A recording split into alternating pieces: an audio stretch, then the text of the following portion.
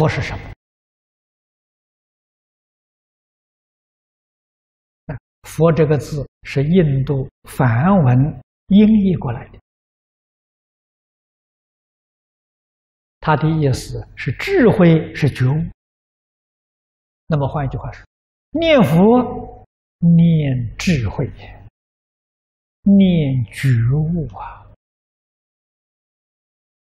这个字是可以翻的，为什么古人不翻？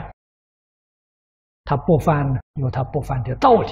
从前翻经体力啊，有五种不翻。这一种呢，尊重不翻啊。我们对这个“佛”这个字很尊重它啊，不翻用音译过来。他说的智慧是无所不知啊，他所讲的觉悟无所不觉。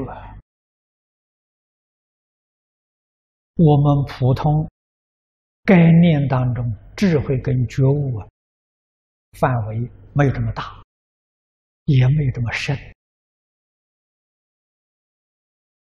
啊，所以它是究竟圆满的智慧，究竟圆满的觉悟，这是佛。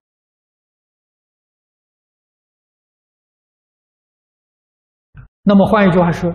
这佛佛相念，要落实在我们现实生活上，念念都不迷呀，那就是觉。